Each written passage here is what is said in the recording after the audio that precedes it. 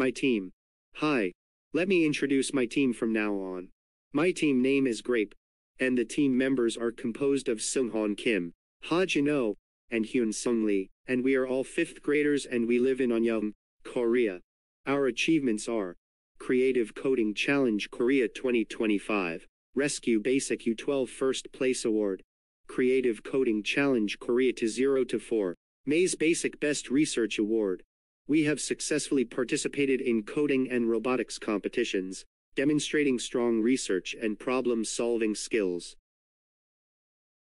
Challenge Summary. Let's take part in RoboCup, Asia Pacific 2025, Junior Rescue League, Rescue Line Entry, Challenges Explained, Methods Strategies for Autonomous Robot Construction to Rescue Victims in Dangerous Areas, Sensor-Based Navigation, and AI Decision Making, Teamwork and Innovative Design Results and Conclusions improved robotics and problem-solving skills.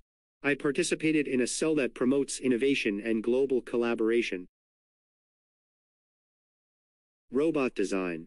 Our robot is made of two things, the first being able to climb a hill well, and the second being able to ride a line well. Hill Mission Robot Design. The wheels and motors are positioned to the hub to optimize power transmission for hill climbing.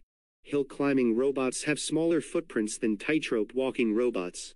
Line Mission Robot Design. The robot has a slightly larger size, with color and distance sensors in place to monitor the line below. Motor in a slightly off-hub position for optimal alignment. Software design and evidence. We learn basic line following and apply it. The line following of two color sensors is made into a table and a flowchart. Strategic and innovative solutions. We've written the program in two ways. The first is basic two color sensor line tracing. The second is the PID, which can control the wheels by the value of light, reflective light, with two color sensors. The first solution is the basic principle of line tracing using two color sensors. To explain this, if the left sensor is black, and the right sensor is black, it stops. If it is black and white, it rotates to the left. If it is white and black, it rotates to the right. If it is white and white, it will move forward. The second solution is PID control using two color sensors, and if you explain this, using two color sensors, using PID control in proportion to the value of the light, the power of the wheels is controlled. Separate green at intersections with additional program solutions. At the intersection, the program has been added to rotate in the green direction of the green zone.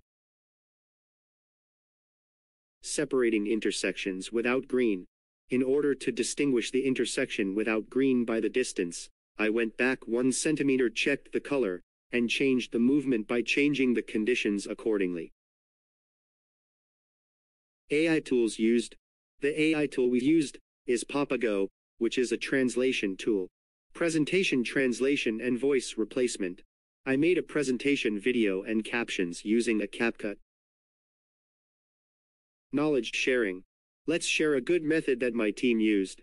We used PID control among the different methods of driving.